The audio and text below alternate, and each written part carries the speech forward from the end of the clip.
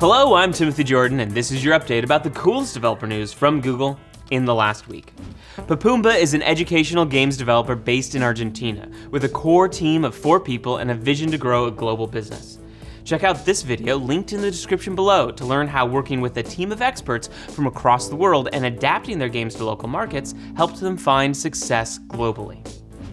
If you love robots like I do, this newly open source library is for you. It's called Cartographer, and it's a real-time simultaneous localization and mapping or SLAM library in 2D and 3D with ROS support.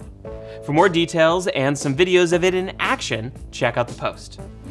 Google App Engine offers a variety of user sign-in options, but what if you need a full stack solution for authentication, including verifying access tokens on the server? Take a look at this article to learn about Firebase Authentication, a complete sign-in experience that provides a drop-in UI, powerful SDKs, and back-end services for token verification. You can now run ASP.NET Core apps on Google App Engine by packaging them in a Docker container. Take a look at the post for steps on how to get started. And you can now download the latest book in our No Nonsense series called The No Nonsense Guide to Native Ads. It's designed to provide a comprehensive overview of native ads and share practical tips and best practices for implementing native ads in your app. To get your copy, follow the link below. You need tools that help you build mobile first experiences at scale.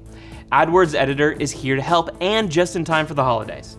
The latest version includes support for universal app campaigns, Gmail ad templates, and much more. Details on the post.